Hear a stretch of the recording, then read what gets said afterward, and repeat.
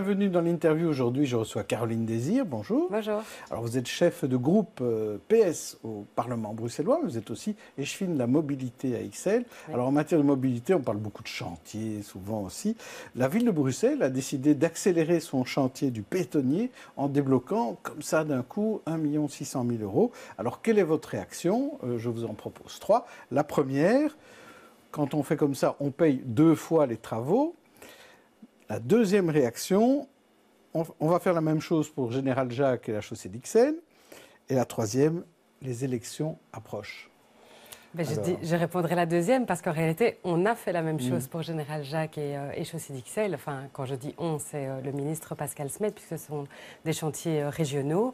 Mais effectivement, euh, à un moment donné, on a besoin de donner un coup d'accélérateur parce que simplement, les quartiers souffrent, les commerçants tirent la langue. hein, et vraiment, c'est Mm. des gros chantiers qui, qui ont duré quand même plusieurs mois d'affilée avec malheureusement des pertes de chiffre d'affaires colossales, voire parfois des faillites qui nous inquiètent beaucoup.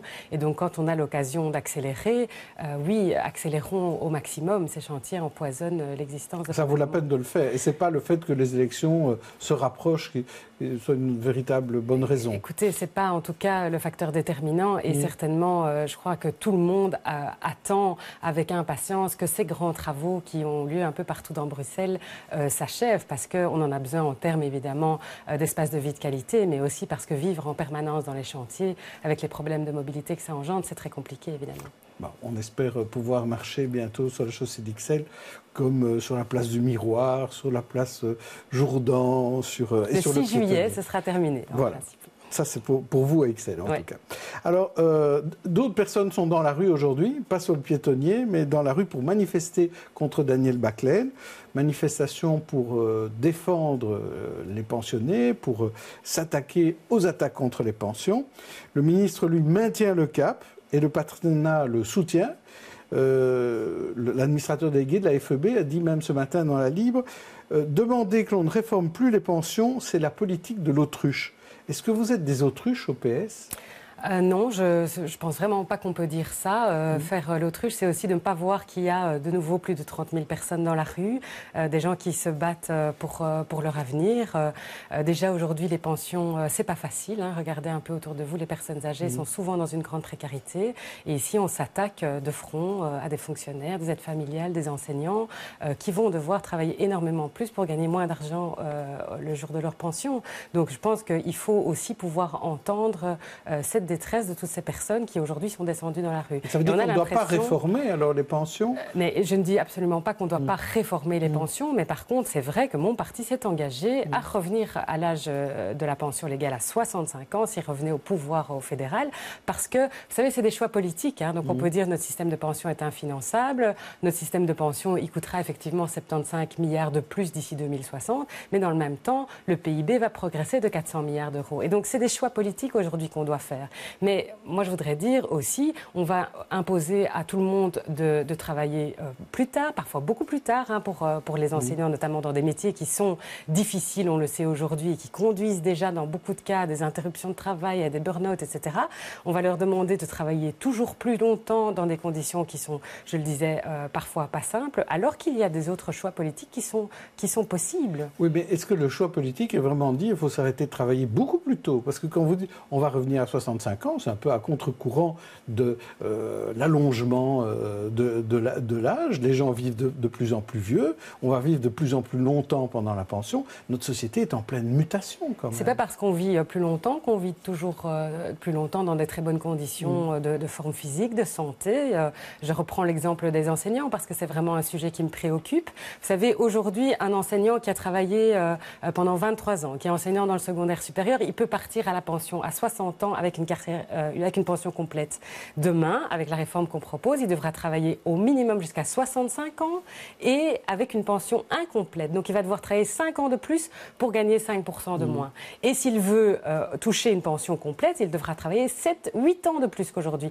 Écoutez, les enseignants, euh, ils ne sont pas en mesure euh, d'accepter ça parce que leur, leur métier est devenu beaucoup plus difficile aujourd'hui. Il faut entendre ça aujourd'hui et faire des propositions soutenables. Les propositions euh, qui les visent aujourd'hui, Oui. elles vont juste avoir pour effet, en fait de précariser les personnes qui continueront à partir à la pension plus tôt, mais qui toucheront moins. Donc c'est mm. ça qui ne va pas aujourd'hui, je pense, c'est ça qu'on doit dénoncer. Alors, euh, vous pensez que ça peut faire plier le, ministre Baclen Parce qu'on a l'impression que ce gouvernement ne plie pas. D'ailleurs, sur la pension à point, il, maintient le cap aussi. Mais malheureusement, euh, on n'entend pas beaucoup de signaux qui vont dans ce sens-là. J'ai entendu l'interview de M. Baclen. Mm. Euh, la concertation sociale semble être quelque chose qu'on a oublié tout à fait dans ce gouvernement. Et les manifestations, effectivement, ne semblent pas beaucoup les ébranler. Je pense que c'est très grave. Euh, donc, un moyen de sortie, c'est au moment des législatives fédérales en 2019. C'est ça votre point de vue? Ben Oui, nous, nous, sommes engagés. Euh, vous avez vu dans le cadre du chantier des idées, c'est un mmh. point sur lequel nous nous engageons de manière très très ferme au niveau du PS, oui. Mmh. Le retour de la pension légale à 65 ans. Alors, euh, venons-en à la politique régionale, à ce fameux dossier du décumul. Mmh. On attend demain, c'est un énorme suspense, l'avis du Conseil d'État sur justement ce vote du, du décumul.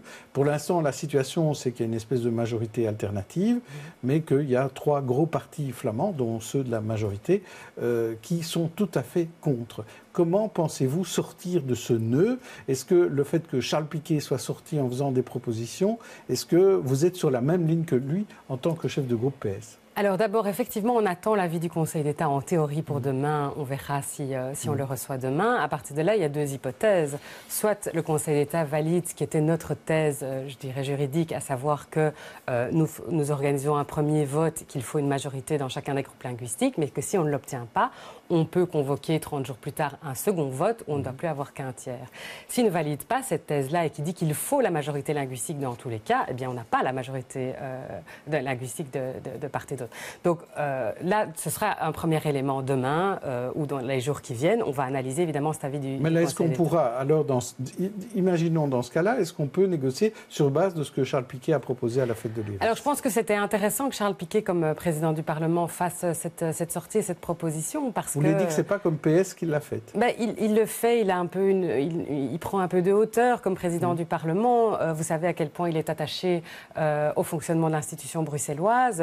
Il se rend bien compte qu'on part ici dans, une aventure institutionnelle un peu compliquée, bien que, voilà, on sait aussi que ce n'est pas un dossier purement communautaire, puisqu'on a des partis néerlandophones euh, qui soutiennent la proposition mhm. euh, d'ordonnance que nous avons co-signée sur le décumul.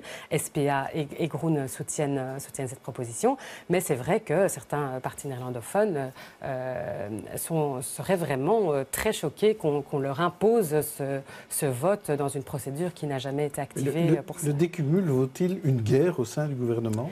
Mais nous ne voulons pas la guerre au sein du gouvernement et on veut que, notre institution fonctionne, évidemment. Ce, mécanisme, il a pour avantage euh, de permettre un temps de réflexion, je dirais, de 30 mmh. jours, qui nous permet aussi euh, de nouer euh, une série de contacts entre parties. Hein. On est, on est une institution, on a l'habitude de se parler, on a l'habitude de résoudre des dossiers complexes sur lesquels on n'est pas toujours d'accord, que ce soit entre partis francophones ou néerlandophones, mmh. ou on a aussi un gouvernement qui rassemble des partis de droite et des partis de gauche, des partis du centre. On a quand même l'habitude du compromis, quoi. Heureusement, mm. d'ailleurs, sinon on ne résoudrait pas grand-chose à Bruxelles. Donc j'espère vraiment qu'on va pouvoir euh, relancer un dialogue sur cette question. Et je pense que euh, la sortie de Charles Piquet était un peu, euh, était un peu dans ce sens-là, en mm. essayant de, de, voir un peu ce qui pourrait. Et si, le Conseil d'État vous donne raison, là, vous foncez alors Mais En tout cas, on ira maintenant au premier vote, puisque mm. nous avons déjà voté en commission, nous avons eu ce débat, etc. Le premier vote, il n'y a plus rien qui l'empêcherait. la, vraie, la vraie question est est-ce qu'il y a une procédure qui va suivre ça ou non? Ou est-ce qu'on doit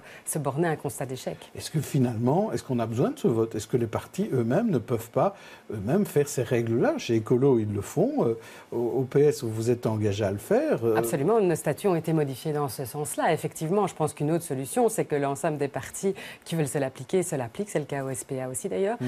Euh, donc voilà, je pense qu'il faut de, de, toute manière avancer, entendre la demande des citoyens à cet égard qui est assez mmh. claire, je crois, de dire un homme ou une femme, un mandat, une rémunération. Ça permet moins de concentration de pouvoir, ça permet de faire émerger de nouveaux talents. Et donc je crois que à tout le moins, les partis doivent s'appliquer cette, cette, nouvelle dynamique. Et puis, et puis ça fera, euh, ce sera l'enjeu aussi de la campagne électorale. On le sait très bien, hein, la demande, elle est là. Alors justement, là, on va parler des communales.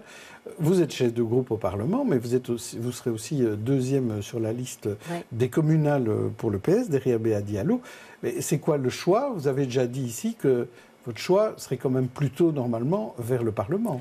Écoutez, je n'ai pas encore euh, tranché cette question, je vous avoue. Mm. Euh, c'est vrai qu'on est, on, doit euh, réinventer notre propre façon de faire de la politique. Aujourd'hui, je cumule et en même temps, je, suis co-signataire de cette, de cette ordonnance. Donc c'est vrai que c'est une position un peu. Mais c'est pas encore clair dans votre tête ou bien Non, c'est pas clair dans ma tête. Je, D'abord, j'apprécie beaucoup les deux mm. niveaux de pouvoir et j'ai toujours été engagée mm. dans les deux niveaux. Ici, je vais devoir défendre mon bilan comme ICHFIN, donc je trouve ça normal évidemment de me présenter aux élections communales. J'écouterai aussi le, le, signal des électeurs. voilà, je réfléchirai euh, de, mon côté. On verra si j'ai le choix d'abord. Hein. Il, mhm. faudra voir les résultats des élections. Donc tout ça, vous savez, faire des plans sur la comète en politique, c'est compliqué. En tout cas, ce qui est clair, c'est qu'en 2019, nous ne cumulerons plus, nous y sommes engagés. Donc là, on connaîtra votre choix en 2019. Merci beaucoup, Caroline Désir. Demain, je recevrai Hamza Fassifiri du CDH. D'ici là, bonne journée, bonne soirée à tous.